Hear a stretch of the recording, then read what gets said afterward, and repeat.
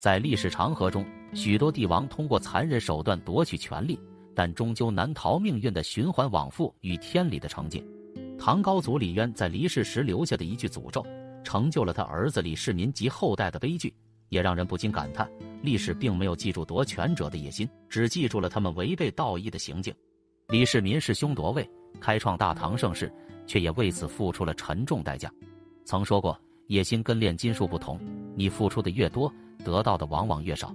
当年李渊的十四字，便是对李世民集权夺取与背德行为的最好注解。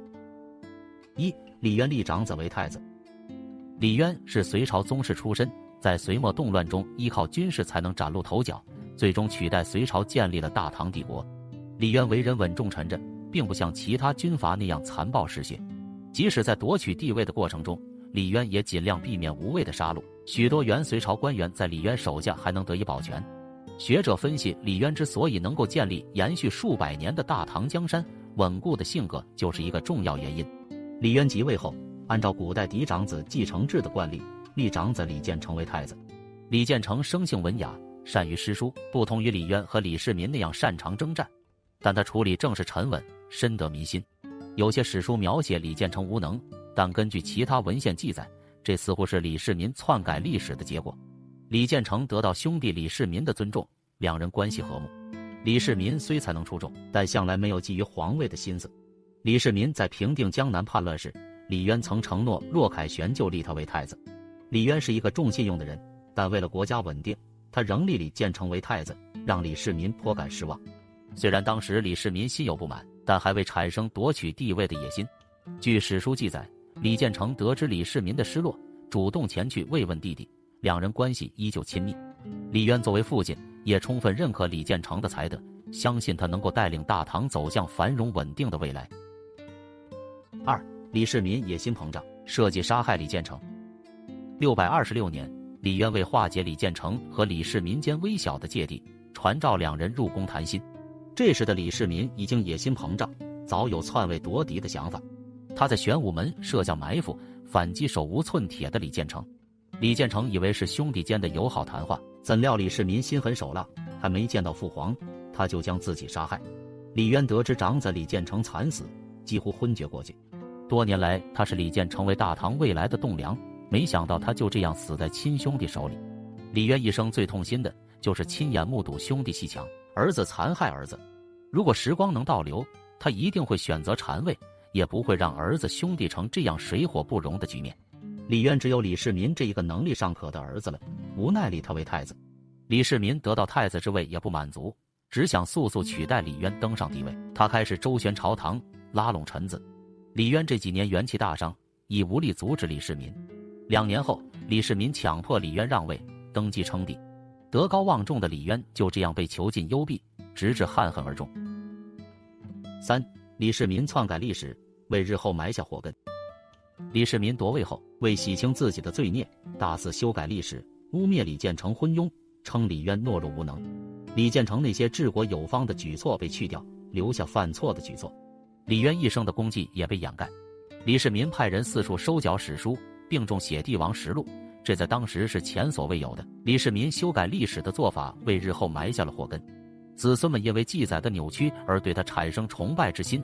也学他师兄逼父的手段争夺皇权，李世民为达目的不择手段，这一点在他随后的统治中也可以看出。李渊在离世前留下的十四字，预言李世民的子孙也会有同样悲惨的命运，后世果然应验了。四，李世民治国有方，却无法摆脱道德阴影。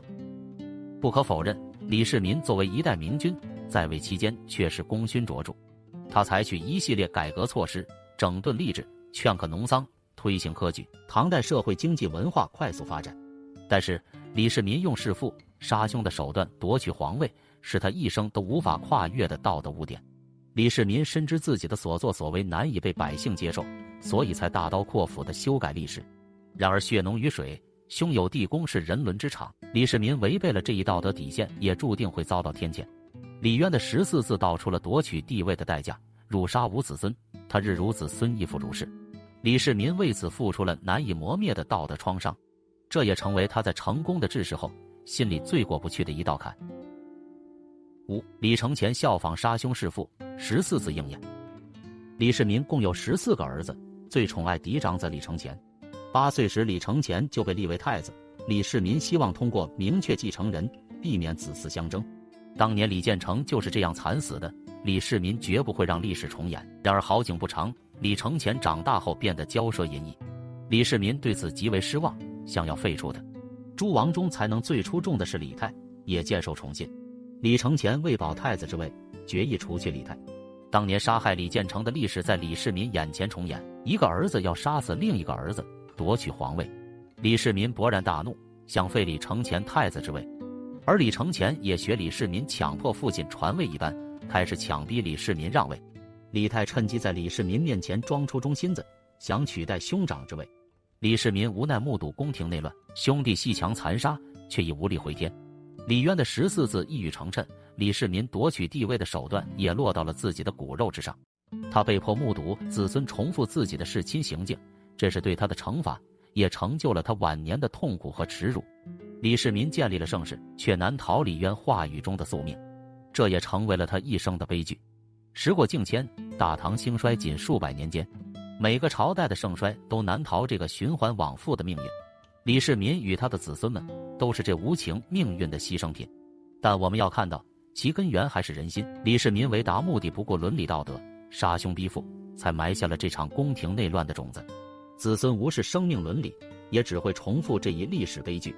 今人应当汲取历史教训，知法守法。遵循伦理道德，不因私欲肆意妄为，这样才能避免历史的循环往复。世事沧桑，江山代有才人出。我们唯有互相宽容，破除仇恨，才能开创出崭新的历史篇章。古人云：“善有善报，恶有恶报。”唯有做一个守法守义、行善惩恶的人，方可避免命运的悲剧，获得内心的平静。这个故事到这里就结束了。欢迎点赞、订阅，在评论区留下你的看法。您的鼓励。是我更新的最大动力。我们下期再见。